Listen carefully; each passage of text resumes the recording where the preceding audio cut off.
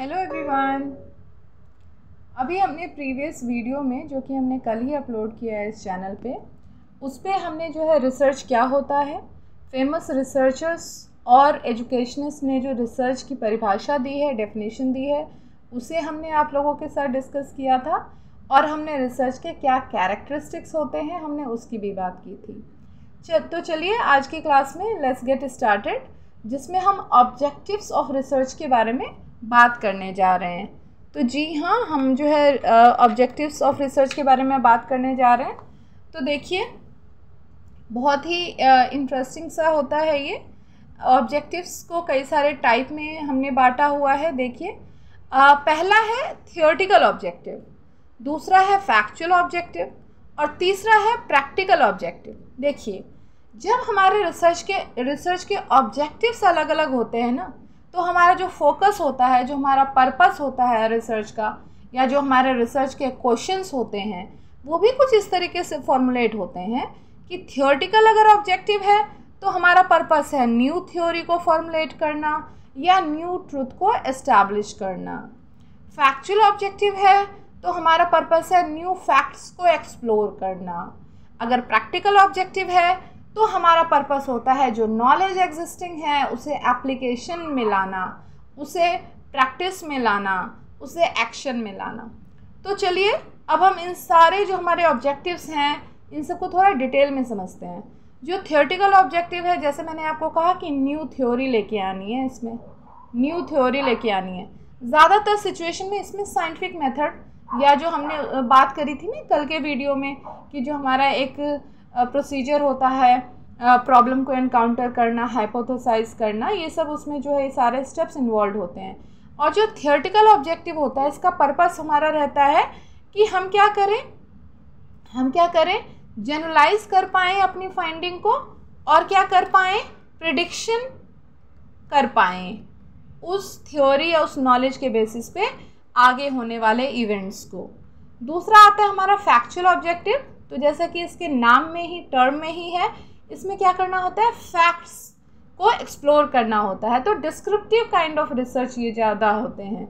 अब हम बात करते हैं प्रैक्टिकल ऑब्जेक्टिव तो जिसमें हमें किसी इमीडिएट प्रॉब्लम का सॉल्यूशन फाइंड आउट करना होता है। हमारे अप्लाइड रिसर्च एक्शन रिसर्च ये सब चीज़ें इसमें आ जाती हैं प्रैक्टिकल ऑब्जेक्टिव में। तो चलिए अब थोड़ा सा और समझते हैं। अब हम बात करने जा रहे हैं टाइप्स ऑफ़ रिसर्च की। देखिए, बहुत ही इंपॉर्टेंट सेगमेंट है ये। जो आपके नेट जे का एग्ज़ाम आने वाला है, सबसे मेजर चंक ऑफ़ क्वेश्चन जो है ना, इस पे से पूछा जाता है। अगर आपको एक एक टर्म जो अभी हम डिस्कस करने वाले हैं, वो क्लियर हो गया तो आपके मान के चलिए कि आपके जो है तीन चार क्वेश्चंस जो इस पे आते हैं, वो आप बिल्कुल सही बना के आएँगे।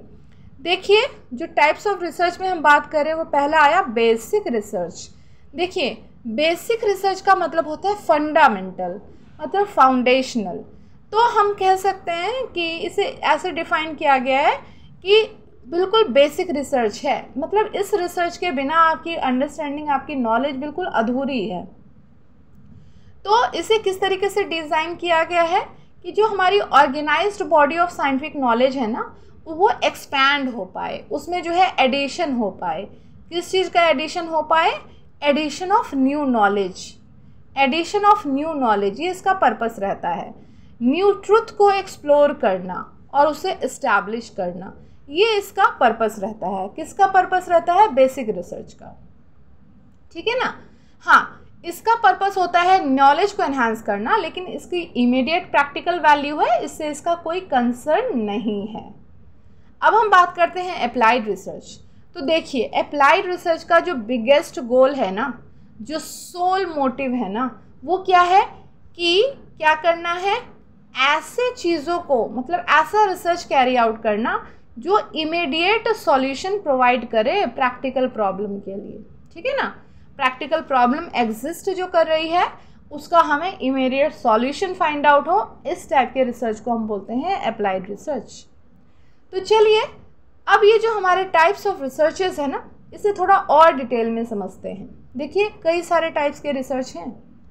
अगर हम ऑब्जेक्टिव्स ऑफ़ रिसर्च के बेसिस पे बात करें तो फंडामेंटल रिसर्च है और एक्शन रिसर्च है। फंडामेंटल रिसर्च जैसे कि हमने बेसिक रिसर्च की बात करी थी, कि हमें क्या करना है? नॉलेज को एनहेंस करना है। और एक्शन रिसर्च में क्या होता है? जो हमारे पास इमीडिएट हमारे आसपास जो इमीडिएट प्रैक्टिकल प्रॉब्लम है ना, उसके तह में जाना, उसके प्रैक्टिकल सॉल्यूशंस को फाइंड आउट करना। तो जब हमारा ये रिसर्च रहता है ऑब्जेक्टिव रहता है रिसर्च का तो हमारा होता है एक्शन रिसर्च ठीक है? बहुत सारी चीज़ें समझ में आ गई होंगी। एक्शन रिसर्च में जैसे मान लीजिए कि किसी बच्चे को इंग्लिश के लर्निंग में डिफ़िकल्टी है ग्रामर नहीं समझ में आ रहा है, या क्लास में बिहेवियर डिफरेंट है, ठीक है? तो आपने मान लीजिए कोई, या इरेगुलर है, ठीक है? अगर हमें इस टाइप के प्रॉब्लम का एक फटाफट से सॉल्यूशन निकालना हो, अगर मैं एजुकेशनल फ़ील्ड से लेके आऊँ तो हमारा रिसर्च किस टाइप का होगा? एक्शन रिसर्च थोड़ा सा और डिटेल में समझते हैं। अगर हमारा अप्रोच डिफरेंट हो तो क्या इसके बेसिस पे हमारे रिसर्च का डेफिनेशन या टाइप डिफरेंट हो सकता है? बिल्कुल होता है। देखिए, अगर लॉन्गिट्यूडनल रिसर्च है क्रॉस सेक्शनल रिसर्च है ये सब क्या है? लॉन्गिट्यूडनल रिसर्च में क्या होता है? Over a long period of time over a long period of time और जो हमारा क्रॉस सेक्शनल होता है, वो क्या होता है? हमें एक पर्टिकुलर मान लीजिए कि एकेडमिक ईयर में ही, मान लीजिए लॉन्गिट्यूडनल की बात करूँ तो मुझे ये देखना है कि भाई जो बच्चा अभी सिक्स क्लास में है, उसका लर्निंग स्टाइल कैसे टाइम के साथ चेंज होता जा रहा है? या मान लीजिए मैथ्स के या साइंस के किसी कॉन्सेप्ट की समझ, उसके जब वो सिक्स क्लास में है तब कैसा है और जब वो ट्वेल्थ क्लास में गया, तब कैसा हुआ? तो देख सकते हैं आप छः साल के गैप पे आप एक स्टूडेंट या केस के साथ स्टडी कर रहे हो। जब इतनी ज़्यादा टाइम टेकिंग चीज़ें होती हैं तो हम बोलते हैं लॉन्गिट्यूडनल रिसर्च ठीक है? लेकिन वही क्रॉस सेक्शनल रिसर्च क्या होता है? कि आप एक पर्टिकुलर अकेडमिक ईयर में ठीक है ना? मान लीजिए कि अभी जो ईयर चल रहा है मान लीजिए आपने चौबीस पच्चीस में आ, किसी स्कूल में आपने सिक्स के बच्चे सेवन के बच्चे इस तरीके से ट्वेल्थ तक के बच्चे को लिया अपने सैंपल का पार्ट बनाया। क्लास के स्ट्रेंथ अगर साठ साठ है तो मान लीजिए आपने उनमें से तीस तीस ले लिया हर ग्रेड में से। और उनके ऊपर आपने रिसर्च अपना कुछ अपने जो टूल्स हैं वो एडमिनिस्टर किए तो आपको पता चल जाएगा भाई कि इन डिफरेंट ग्रेड्स में बच्चों की अंडरस्टैंडिंग कैसी है। तो आपने एक साल के अंदर छः क्लासेस के बच्चों को स्टडी कर लिया। तो ये क्या होता है? क्रॉस सेक्शनल जबकि लॉन्गिट्यूडनल में क्या था? एक बच्चा है और आप हर साल उसके ऊपर स्टडी कर रहे हो तो छः साल का टाइम ले रहा है। तो देखा रिसर्च का अगर अप्रोच डिफरेंट हो तो हम रिसर्च का जो है टर्मिनोलॉजी चेंज हो जाती है, नाम उसका बदल रहा है। तो आप ना कुछ एग्जांपल्स देख लीजिए। हिस्टोरिकल केस स्टडी ये सारे हमारे लॉन्गिट्यूडनल में आते हैं। और एक्सपेरिमेंटल सर्वे ये सारे हमारे किसमें आते हैं? क्रॉस सेक्शनल में। देखिए प्रिसीशन के बेसिस पे देखिए एक्सपेरिमेंटल रिसर्च होता है नॉन एक्सपेरिमेंटल तो देखिए, ये जो नॉन एक्सपेरिमेंटल है, जो कि social sciences and education setting में यूज़ होता है सोशल साइंसेज में। जो एक्सपेरिमेंटल होता है, ये हमारे कौन से फील्ड्स हैं? जैसे फ़िज़िकल साइंसेज है ना? फ़िज़िकल साइंसेज के फ़ील्ड हो गए, जैसे फिज़िक्स हो गया केमिस्ट्री हो गया इंजीनियरिंग हो गया मेडिकल साइंसेज हो गए, है ना? अब आप देखिए इसमें प्रिसीजन की कितनी ज़्यादा ज़रूरत होती है। आपको कोई मेडिसिन बनानी है, मान लीजिए तो उसकी प्रिसाइजनेस उसकी एक्यूरेसी उसका डोज बल्कि मिलीग्राम्स में नैनोग्राम्स में क्वांटिटी बहुत ही इंपॉर्टेंट हो जाती है। तो जब प्रिसीशन डिसाइडिंग चीज़ होती है तो हम रिसर्च को रिसर्च को हमने दो कैटेगरी में डिवाइड किया है। नॉन एक्सपेरिमेंटल हो गए एक्सपेरिमेंटल में क्या है? आप कई सारे वेरिएबल्स को कंट्रोल कर सकते हो। आपके पास एक बिल्कुल स्ट्रिक्ट सेटिंग होती है। आप फैक्टर्स जो हैं हमारे, है ना? प्रेशर टेम्परेचर पीएच इन सबको आपको रेगुलेट कर सकते हो कंट्रोल कर सकते हो। लेकिन जब हम नॉन एक्सपेरिमेंटल में रिसर्च करते हैं तो कई सारे ऐसे कन्फाउंडिंग इंटरवेनिंग वेरिएबल्स होते हैं, जिन्हें कंट्रोल कर पाना थोड़ा सा डिफ़िकल्ट रहता है। तो ये होता है सोशल साइंसेस एजुकेशनल सेटिंग और और भी साइकोलॉजिकल सेटअप्स में इस टाइप के रिसर्चेज होते हैं। ठीक है ना? हमार आ, आप देख सकते हैं कि एक्सपेरिमेंटल रिसर्च में प्रिसीजन बहुत इंपॉर्टेंट रोल प्ले करता है जबकि नॉन एक्सपेरिमेंटल में ऐसा नहीं है। नेचर ऑफ़ फाइंडिंग के बेसिस में चले इसे क्लासीफाई कर लेते हैं। अगर एक्सप्लेनेटरी रिसर्च है तो भाई एक्सप्लेन हो रही है ना और थ्योरीज़ के बारे में हमें ज़्यादा इन्फॉर्मेशन मिल रही है। थ्योरी डेवलप कर रहे हैं हम। न्यू हमें ट्रुथ मिल रहा है। तो ये हमारे किस टाइप का रिसर्च में आ रहा है, अगर देखें तो? जी हाँ तो ये हमारा किसमें आ रहा था? थियोरटिकल ऑब्जेक्टिव में। और फाइंडिंग्स इसकी एक्सप्लेनेटरी हैं। डिस्क्रिप्टिव में क्या होता है? ये फैक्ट्स के साथ कंसर्न होता है। हमारे फाइंडिंग्स डिस्क्राइब कर रहे हैं। नए नए फैक्ट्स को हमारे लिए हाईलाइट करते हैं। जब इस टाइप की फाइंडिंग्स आती हैं तो डिस्क्रिप्टिव रिसर्च कहते हैं। आपने कईयों के मुँह से सुना होगा कि हमारा रिसर्च का जो टाइप है, वो डिस्क्रिप्टिव रिसर्च है, यानी वहाँ पे फैक्ट्स को क्या किया जा रहा है एक्सप्लोर किया जा रहा है।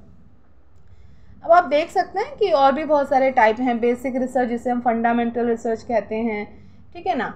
तो इसमें हमें ओरिजिनल और यूनिक इन्वेस्टिगेशन की ज़रूरत होती है नॉलेज की एडवांसमेंट होती है।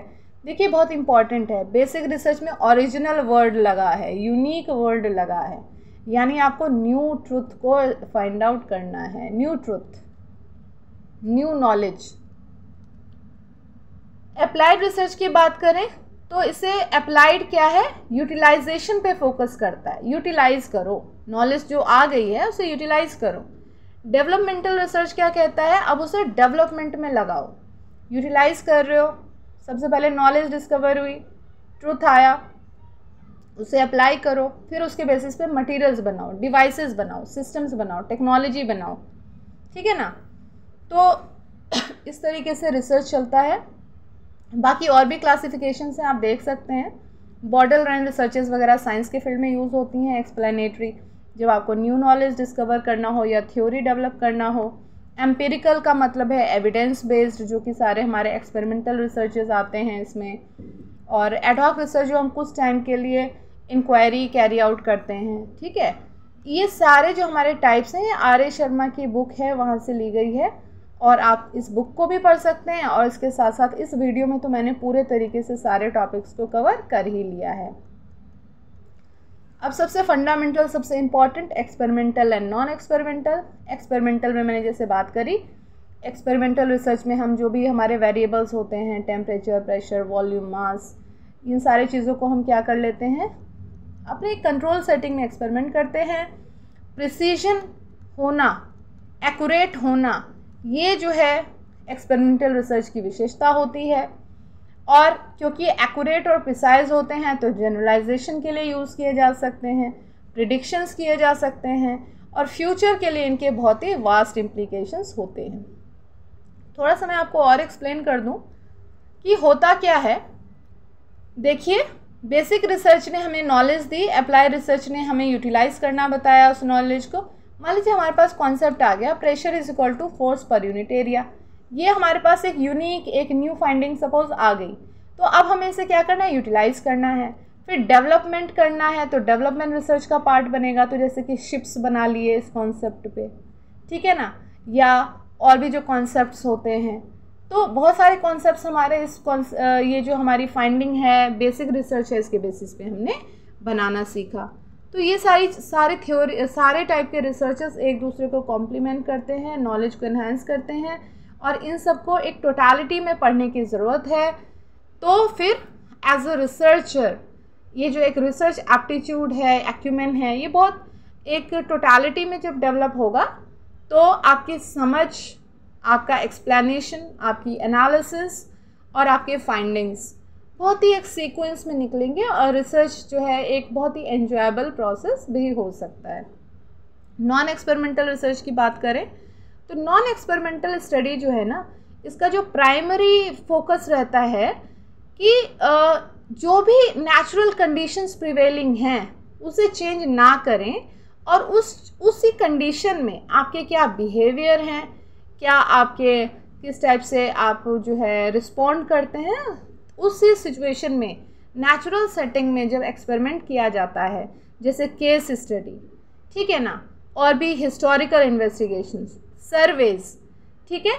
तो ये सारे जब इस टाइप के एक्सपेरिमेंट किए जाते हैं, इन्हें हम बोलते हैं नॉन एक्सपेरिमेंटल और जब सारे फैक्टर्स को कंट्रोल किया जाता है तो एक्सपेरिमेंटल जब हम सारे प्रिवेलिंग कंडीशंस के अंदर काम करते हैं रिसर्च कैरी आउट करते हैं तो नॉन एक्सपेरिमेंटल हमारा इसमें प्रिसीशन की कोई ज़रूरत नहीं होती, जबकि एक्सपेरिमेंटल रिसर्च में प्रिसीशन एक्यूरेसी की बहुत ज़्यादा उस पर फोकस रहता है।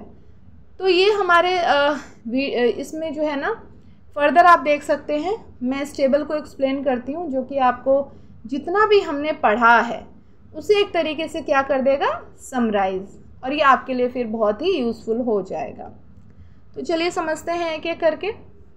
देखिए अभी इसी टाइम आप इस टेबल को अगर समझ लेंगे तो आपको टाइप ऑफ़ रिसर्च समझ में आ जाएगा। उसके ऑब्जेक्टिव्स आप कभी नहीं भूलेंगे। और वो किस टाइप का फ़ंक्शन करता है वो रिसर्च किस टाइप से यूज़फुल है, वो हमें पता चल जाएगा। सबसे पहले हम बात करते हैं एक्सपेरिमेंटल टाइप ऑफ़ रिसर्च की। और फिर हम बात करेंगे नॉन एक्सपेरिमेंटल टाइप देखिए, आपको बहुत सारी जानकारी पहले से पता है। एक्सपेरिमेंटल में प्रिसीजन एक्यूरेसी इंपॉर्टेंट है। नॉन एक्सपेरिमेंटल में हमारा पर्पस रहता है हम कॉन्टेक्स्ट को समझें, हम प्रिवेलिंग फैक्टर्स के इन्फ्लुएंस को समझें।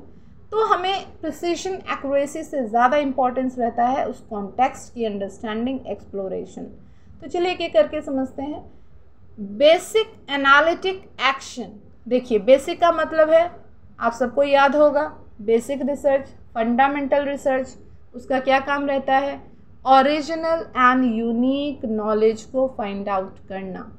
यानी, आप देख सकते हैं कि रिसर्च ऑब्जेक्टिव कैसा होगा। थियोटिकल क्योंकि थ्योरी डेवलप करनी है। प्रिंसिपल्स बनाने हैं लॉज बनाने हैं। फ़ंक्शन क्या होगा? एक्सप्लेनेटरी किसी सिचुएशन को एक्सप्लेन करना चाहिए काफ़ी डिटेल में। एनालिटिक एनालिसिस बेस्ड फैक्चुअल होगा। फैक्चुअल इसका ऑब्जेक्टिव है। फैक्ट्स डेवलप करने हैं। और फ़ंक्शन क्या है? डिस्क्राइब करेगा डिस्क्रिप्टिव नेचर का होगा रिसर्च एक्शन जैसे मैंने आपको कहा एक्शन बेसिक के बाद क्या होना चाहिए? जो नॉलेज आई तुम्हारी, उसे अप्लाई भी तो करना चाहिए, उससे मटेरियल्स भी तो डेवलप होने चाहिए। तो इसका ऑब्जेक्टिव क्या होगा? प्रैक्टिकल जो भी इमीडिएट प्रॉब्लम है, उसका प्रैक्टिकल सॉल्यूशन देना। तो ये हमारा फ़ंक्शन क्या करता है? प्रैक्टिस प्रैक्टिस में लेके आता है रिसर्च के फाइंडिंग्स को। नॉन एक्सपेरिमेंटल को देखिए तो अप्लाइड क्या होता है? बेसिक के बाद हमने अप्लाइड पढ़ा था कि जो हमारे पास एग्जिस्टिंग रिसर्च है, उनके जो भी फाइंडिंग्स हैं, उसे अप्लाई करना। तो ये जो है हमारे थियोटिकल एक्सप्लेनेटरी फ़ंक्शन है। हिस्टोरिकल जो है वो फैक्चुअल है फैक्ट बेस्ड होता है डिस्क्रिप्टिव है। एक्शन प्रैक्टिकल होता है और प्रैक्टिस में इसे यूज़ किया जा सकता है। तो आपने देखा कि हमने इतने सारे टाइप्स के रिसर्चेस को यहाँ पे आपके साथ डिस्कस किया। इसमें से कम से कम चार से दस मार्क्स आप मान के चलिए कि आपके नेट होने वाले एग्ज़ाम में बिल्कुल कवर होंगे। आपके इस प्रिपरेशन की जर्नी में हम लोग आपके साथ हैं। आप लोगों के साथ अब डेली जो है डीआई और कॉम्प्रीहेंशन के क्वेश्चंस डिस्कस होंगे। तब तक के लिए आप लोग जो है इन वीडियोस को देखिए, अपने डाउट्स आप कमेंट सेक्शन में लिखिए।